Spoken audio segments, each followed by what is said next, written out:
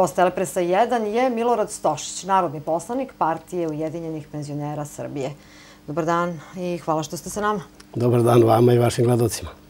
E, I vi, odnosno narodni poslanici u Skupštini, ali i vlada, radili ste, čini mi se, punom parom posljednjih meseci i tokom čitavog leta doneli set zakona, što reformskih, što manje reformskih, ali sve to po hitnom postupku.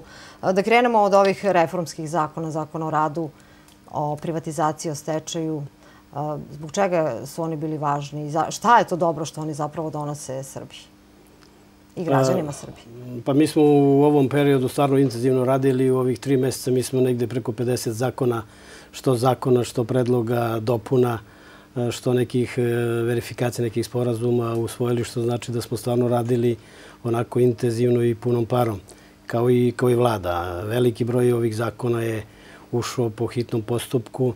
E, posle redovnog zasedanja svoji zakoni koji ulaze, oni po e, statutu ulaze po hitnom postupku. Da li je to baš tako trebalo ili nije, ali već duži period se raspravlja o tim zakonima, tako da i u onom prošlom e, mandatu, znači 2012-2014, oni su bili i aktuelni i delimično su vršene neke javne rasprave, tako da e, mislim da sada kad su ušli kao zakoni po hitnom postupku nije e, nešto posebno bitno zato što se o tim zakonima raspravlja već duži period.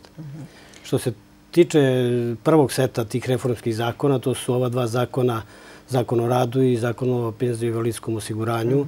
E, ima tu dosta novina, ima dosta novina sada možemo reći da će doprineti kao što se najavljuje poboljšanju ili ubrzanju zapošljavanja, bržem e, načinu zapošljavanja, da će poslodavci imati više mogućnosti da e, zaposle ljude zato što neće imati neka davanja koje su ranije imali. Primjera, primjera radi pravo na naknadu poslovu milnog rada. Sada je jedna od e, bitnih izmena stavki E, odnosi se samo na e, poslodavca, aktualnog poslodavca, što znači da za radnike to svakako nije dobro, nije dobro u tom smislu, zato što sve prethodne godine ako promeni poslodavca, on gubi taj minuli rada, to je 0,4% na godišnjem nivou, što znači da oni dosta gube.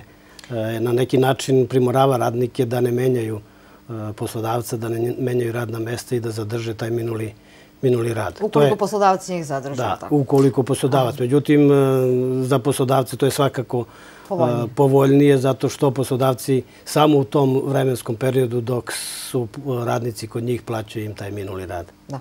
E, pomenuli ste i e, izmene, odnosno zakon o penzijskom osiguranju i invalidskom, s obzirom da vi predstavljate upravo penzionere kako vi komentarišete ovaj zakon i sa, tog, sa te pozicije, s obzirom da kažem da predstavljate upravo tu, tu, taj deo populacije? Pa zakon o penzijno-invalidskom osiguranju ne dotiče postojeće penzionere, One buduće, postojeće penzionere e, koje mi uglavnom štitimo zbog stečenih prava, zbog redovnosti isplata i usklađivanje penzije, ali svakako dotiče buduće penzionere koji treba da idu za koju godinu u penziju. Mm, jednostavno, e, ako želimo ka Evropi, mi moramo da uskladimo neko naše zakodavstvo prema Evropi. Mi smo bili protivnici e, pre svega dok je, dok je gospodin dr. Jovan Krkovac bio živ, e, što se tiče povećanja staža za žene, jer on imao jedan poseban tretman prema ženama i uvijek je govorio da žene su i i majke, i domaćice, i radnice, i maltene su puno opterećeni i ne treba da se izjednačavaju sa muškarcima. Međutim, eh, i u parlamentu imamo preko jedne trećine žena eh, poslanica i one su uglavnom sve glasale za izmene ovog zakona, tako da... A je teško da kad ste u vladajućoj koaliciji glasate za nešto za što možda uopšte niste tako ubeđeni da je, da je potpuno u redu i da je u korist građana? Pa svakako, znate, mi smo u ovoj skupštinskoj većini uglavnom prihvatili poziv Srpske napredne stranke, najviše zbog toga što je gospodin Vučić, predsjednik vlade, obećao da penzije neće dirati u narednom periodu, odnosno da neće smanjivati penzije. Mi smo, iz, mi smo iz tog razloga i, i ušli u tu skupštinsku većinu, verujući i, i dalje se nadamo da će se e, sve druge mogućnosti iznalaziti kako bi se budžet stabilizovao, a da jednostavno penzije ostanu, jer znate, veliki broj penzionera e, samo po onoj e, statistici, kada su primali onu takozvanu 13. penziju, da je preko 500.000 penzionera primalo tu pomoć ili 13. penziju. Ali novi znači- ministar financija kaže negde oko 10%, fiskalni savjet kaže 15%. Pa to je, znate, u, u vojsci se obično kaže to je, to, to je ta neka artiljerijska priprema pred neku odluku i ja, ja se, lično ja bojim da to nije to, jer e, čak ministar je najavljivo preko 20 i da će trebati 25. Ministar. Krsić sada, ministar Vujović, fiskalni savjet kaže 15. Se sada, ako bi neko trebao da bude srećan sa 10% smanjenja, mislim da nije, nije u redu. Znate. A kada može da se očekuje da konačno se zna da li će biti ili neće biti smanjenja plata penzije i koliko će to biti? Pa, e, verujte da, da se najavljuje da će to biti tamo u oktobra, ali e, jednostavno nadam se da, da će i predsjednik vlade i vladajuća stranka, Srpska napredna stranka, pokušati da iznađe sve ostale druge mogućnosti da se jednostavno kroz umanjenje sive ekonomije, kroz e, uplatu doprinosa e, i poreza, kroz sve druge mere da se obezbedi e, punjenje budžeta, a da kao neka zadnja mera bude smanjenje ovaj plata. Mi dalje smo mišljenja da penzije ne treba dirati zato što su one stvarno male i dovode penzionere na ivici egzistencije. Jer, znate, jedan penzioner ne može nikako na drugi način da da ima neki neki prihod. Uz račune koje plaća redovno, uz lekove koje plaća, tako da mu ostaje veoma malo za, za život, onaj normalno. Dobro, govorili smo o reformskim zakonima, donet je i set medijskih e, E, zakona. Vi ste u vladajućoj koaliciji, ali ste imali i određen broj amandmana na set ovih zakona. Nijedan od njih, nažalost, nije e, prihvaćen. Pa evo, ja mogu da istaknem da smo mi u prošlom mandatu 2012-2014. Ovaj ovi zakoni medijski su bili veoma aktualni, zahvaljujući baš borbi određenog broja narodnih poslanika i pre svega vaših predstavnika, odnosno predstavnika regionalnih javnih servisa. Mi smo tada uspeli da skinemo te zakone iz skupštinske procedure, međutim, E, sada su oni po hitnom postupku. Dobro, nama je jasna hitnost recimo u postupku donošenja zakona o radu jer treba zaposliti što veći broj ljudi. Zašto je bilo važno po hitnom postupku doneti i ovaj set medijskih zakona? Šta je tu bilo različito u odnosu na taj prethodni period?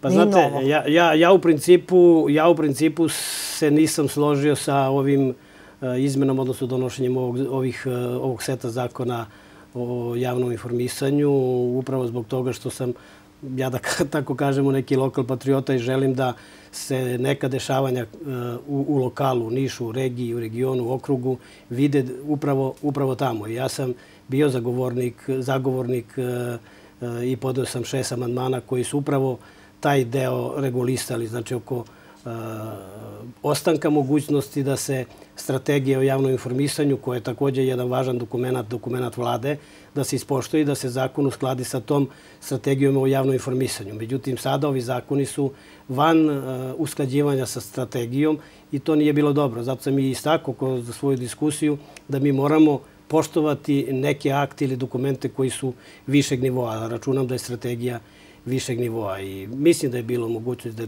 da je bilo dobre volje, da je moglo da se da mogućnost bar da ostanu. A zašto nije bilo dobre volje? Ko nije pokazao? Pa, zna, znate šta, sad ja ne mogu da licitiram, ali, ali sama činjenica kako je tekla i diskusija, kako je to i predlagano, znači nije bilo neke mhm. političke volje.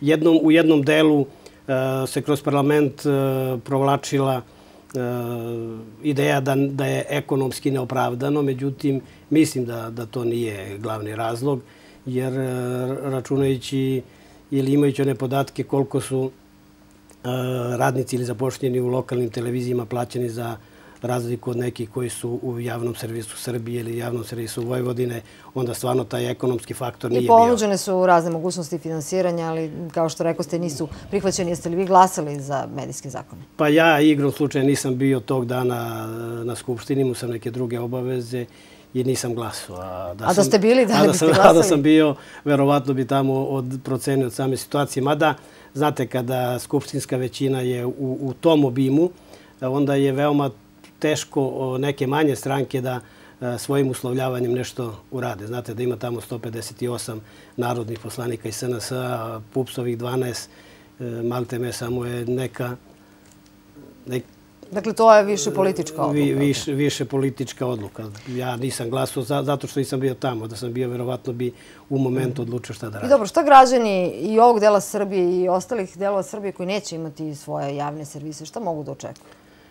Pa ja, ja se nadam da, da jedan od amandmana mojih je bio upravo da se obavežu lokalne samouprave da svojim budžetom planiraju određena sredstva kako bi finansirali, u delu finansirali e, te javne regionalne servise. Ja sam tamo čak predložio da 60% tog budžetskog dela koji bude planiran bude za javne regionalne servise, 40% za projektno finansiranje.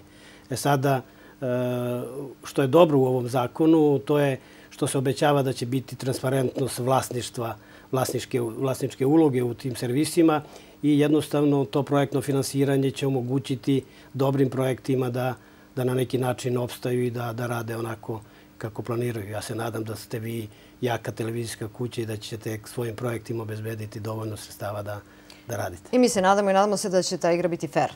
Tako da vama najlepše hvala na ovom gostovanju. I ja se nadam da će biti fair, ali se nadam. Hvala najljepše još jednom. Hvala i vama.